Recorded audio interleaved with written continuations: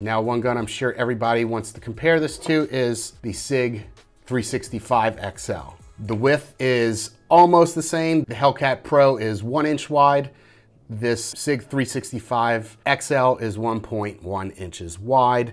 They both weigh the same, coming in at 21 ounces. The length is 6.6 inches, so they are the same length front to back. And the height is also 4.8 inches. The SIG XL has more of a slant on the magazine base, and the Hellcat Pro is just flat, but the height is the same from tip to slide without the red dot.